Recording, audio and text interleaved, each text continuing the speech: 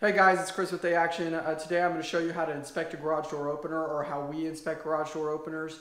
Uh, there's several phases to this, uh, but it's super easy. Um, it's nothing that you should get overwhelmed with. So I'm going to kind of speed up the video. I'm going to show you the steps I take and then we'll go from there. So the first thing I always do is I disconnect it.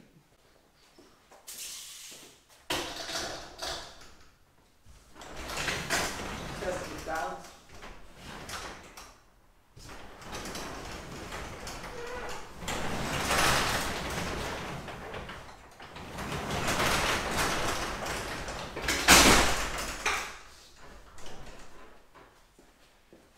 And we turn it on.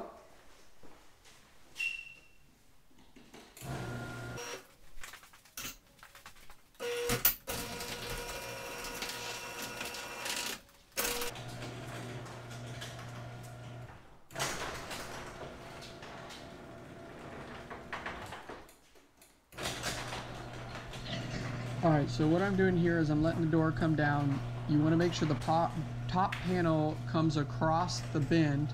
That's what I'm pointing at right there. And that's when you want to test the resistance. If you test it in any other spot, you, are, you will damage the door. And then the final step is uh, always position yourself in line with the cord so you can shut it off. All right, uh, so the next phase, that's was just kind of like the general operation. Uh, the next thing I'm going to show you is what I look at the garage door opener itself. Whenever it's operating, I'm making sure it's not shaking around. I'm making sure uh, the bolts are in there properly. I'm also um, just kind of doing an overall look. The next thing you want to do is look at your chain. Make sure it's nice and tight.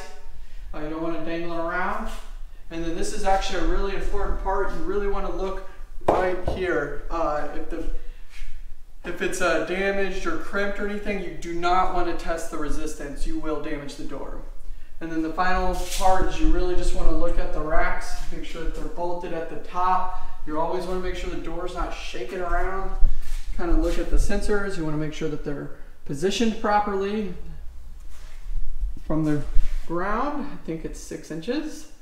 And then the final part, uh, which you should always kind of test at the beginning, just from experience, you just want to make sure the lock is locked and it's disabled.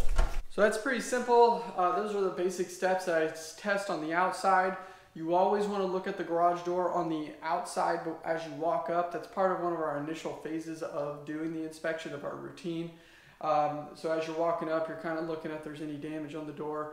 Before you even really do the garage door too, um, before you're already walked outside twice around the property. So by the time you make it to the garage, testing the balance is whenever you walk up, you open the door up, make sure it's balanced, and then you start that routine.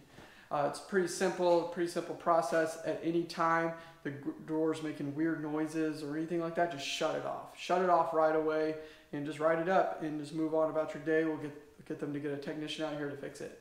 So that's great. That's another uh, steps that we take to inspect garage door openers. If you have any questions, please ask.